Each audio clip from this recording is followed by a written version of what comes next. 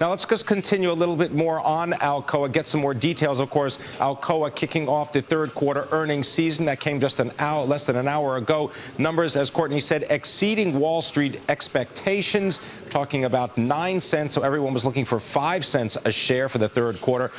Joining us via telephone now from Toronto, a money manager who says the global glut of aluminum could be a problem for Alcoa. Let's turn to John Stephenson. He runs the $1.5 billion First Asset Management Fund. He's also the author of the book, The Little Book of Commodity Investing. John, welcome to Bloomberg. Welcome, Tim. Thank, thank you very much. So, John, what do you make of the results from Alcoa? Is this uh, really just because of currency issues, or is there something more fundamental at work? Yeah, you know, I, I think it really uh, is fundamental. I think what they showed that was very positive and, and I think surprised the street to the upside was that the, the flat rolled business just came on, on like gangbusters, and where they saw the growth was places like Russia, uh, China, and so really the end markets are showing strong demand in, in kind of their their uh, primary metals division and in their uh, alumina division, they were kind of weak and they got impacted by, by those currency movements with a weaker U.S. dollar, uh, stronger Australian dollar being the primary driver there. Um, but I think what you're seeing is, is uh, good, strong global growth, and, and that's a good news story for Alcoa and for uh, commodities in general. Now, uh, John, uh, to get a little more detail on Alcoa, I mean, they've gone through a major cost reduction effort. Are they going to start to really benefit from that? Are we going to see some expansion at Alcoa, at least in terms of the multiple, maybe? Yeah, I think you're, you, you know, this is clearly a stock that, that's poised for some better times ahead, for sure. I mean, keep in mind, it was only a couple of years ago, this was over $40 a share of this stock, and now, of course, it's in the $12 range. Uh, so it's definitely on its way up again. Uh, I think they will start expanding, but for now, they're going to hold the line on cost containment because that's the key.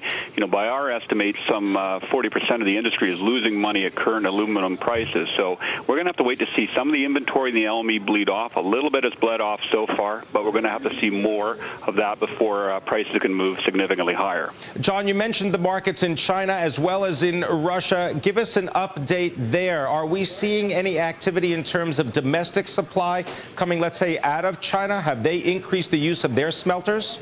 Actually, what they've been doing is uh, more environmental control uh, in uh, China. Uh, this is not only in the aluminum industry, but also in the steel industry. So, in, in other words, uh, supply has uh, been a little more muted than we would expect.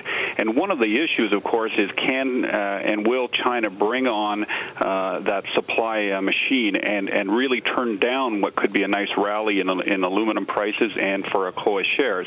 And I think the current thinking is that they're trying to get a hold of it. They've got too many smelters out there. It's too much of a, a wild west of smelting in, in China, and uh, ultimately that will be a good story for uh, for Alcoa and for aluminum prices going forward. John Stephenson, what about the actual price of aluminum? Are we going to see price increases?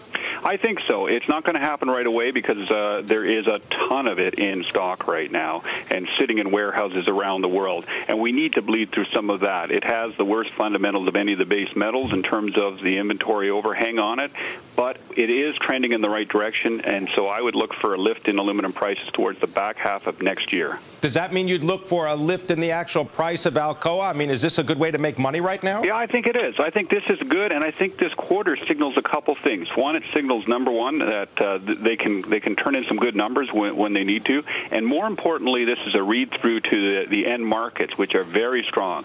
Automotive up 15 to 20 percent in China alone. Uh, heavy truck and trailer uh, up 35 to 40 in China. So you're seeing this strong demand uh, globally that's coming coming up there. Even Europe uh, showed increases in sales uh, in the beverage can and, and packaging group. So you're seeing stronger and stronger growth in the in the world, and that's a good news story for for industry uh, uh, globally.